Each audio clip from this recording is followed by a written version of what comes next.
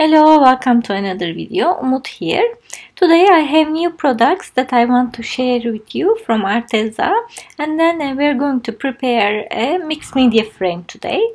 Uh, this is a mixed media pad which is uh, this size uh, 11 by 14 inches and uh, the interesting thing about this product is you can fold it into a frame and uh, make a nice mixed media project with it so it comes uh, in this beautiful packaging uh, and uh, there are 20 of these uh, which are easy to separate and use.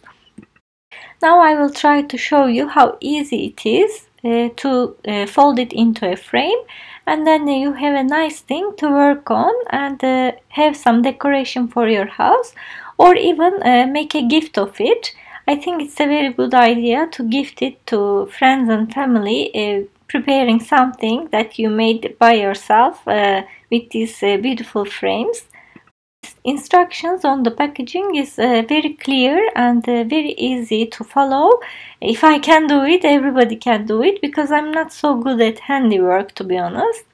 Uh, but I'm just following the lines and following the pictures shown on the packaging and it's really intuitive and uh, easy you wouldn't need any tools uh, to make this uh, frame. Uh, just your hands uh, are enough. So I'm just folding where the uh, lines are and trying to make it into a frame. It took only a couple of minutes even less probably. There are these little pieces here that you need to remove to push these two edges into these gaps. uh, and then you will have your uh, frame uh, ready. This pad comes in different sizes by the way. So check out the links that I will put down below to find the one that suits your taste and what you would like to do with it. And as usual I will leave down below my code uh, to give you a discount uh, when you purchase anything not only this uh, frame but anything from Arteza's website. So you will find all the links down below at the description area. I think I have my frame now uh, which is nice. I think it's also a good alternative for canvases and other things that we use uh, for more dimensional uh, projects. uh, also I have new uh, colors uh, of my favorite metallic acrylic paints. These are so beautiful. This is like a coral color more pinks more orange and this beautiful pastel green. And I already swatched the colors that I got new. Magenta, pink tulip, uh, papaya orange, pistachio green and pink. So this is all my uh, collection now and for this uh, uh, project I, I was uh, debating between using greens or a blue color scheme. And I think this time blue will win and I will go for a blue project.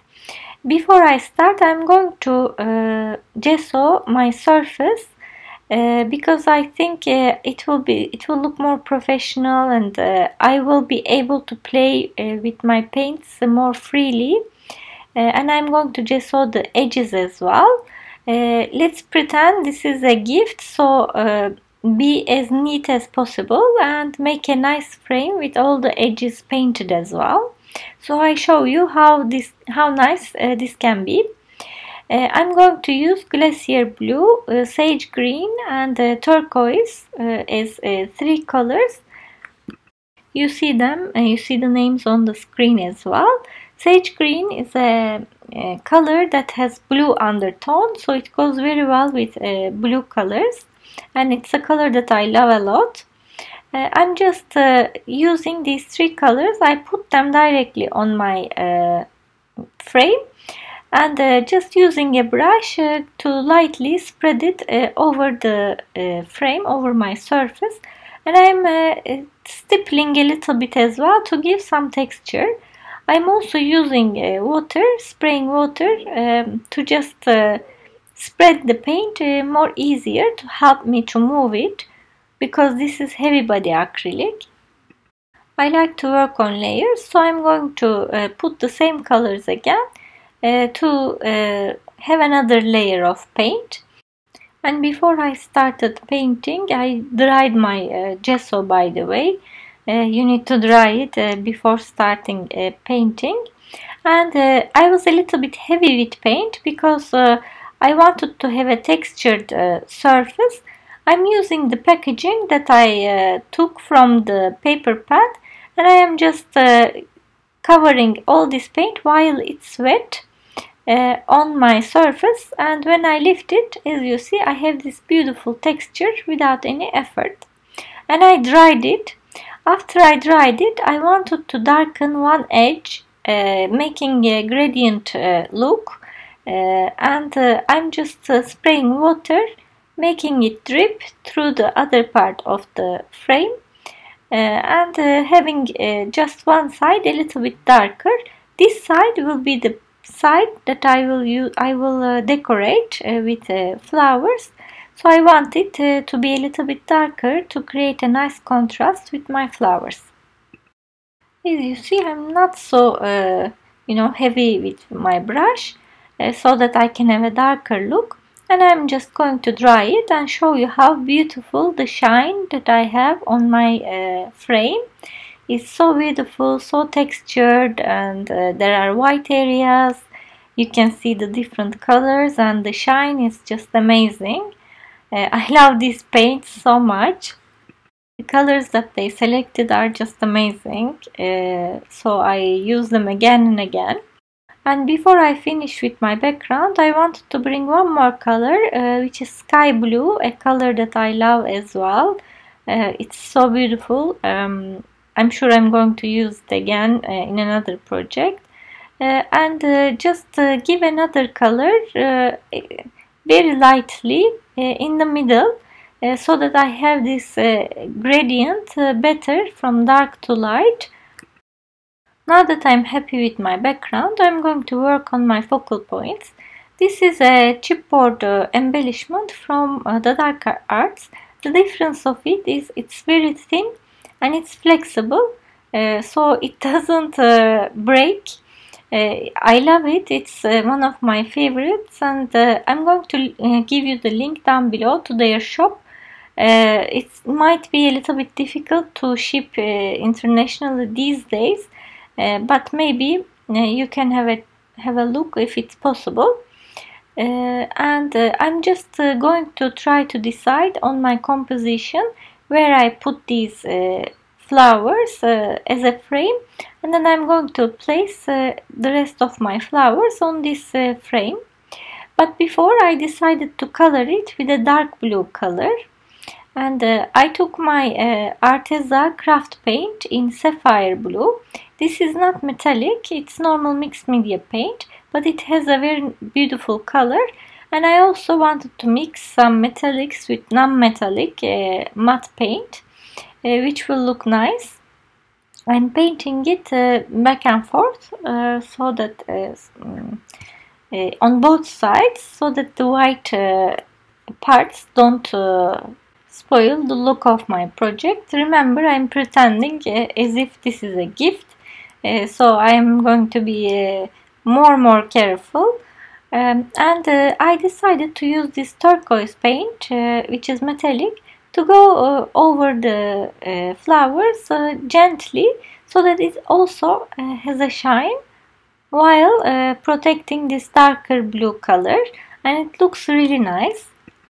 I will show you in a second trying to catch on camera the shine it has and also the matte uh, part of the paint and these two colors go together very well and create a very nice effect which uh, I would love to have at the background so I use matte medium to stick all these embellishments to prepare the ground for my flowers I took all these flowers from my stash and my sisal fiber in white which I love and use uh, in these 3D dimensional projects a lot because I think it gives a lot of uh, dimension and nice texture uh, at the back. Uh, these flowers are uh, the ones that I kept in my stash forever. Uh, I stopped buying flowers because I have a lot in my stash. Uh, I was very keen at some point and I collected a lot. Uh, these little uh, things, uh, uh, little roses, white flowers are very useful because you can also paint them if you want other color flowers. So if you will buy only a few, buy white and you can always paint them with whatever color you want. Uh, and I had these uh, orange ones uh, from Bo Bunny again as I said ages ago and these green ones are from something else that I pushed in that package uh, and uh, I'm just uh, going to use them as well. Remember we have sage green at the background so it goes very well with all these colors the reason I chose uh, orange, uh, like a dark orangey color, is uh, it makes a very nice contrast with blue, so they stand out very well. And I complemented the rest of it with white and this very light mint green. Uh, and uh, as you can see it looks very nice and fresh uh, and I'm going to place the rest of my chipboards uh, here and there where uh, it uh, seeps through my flowers. I am not going to lift all these items and then put them again.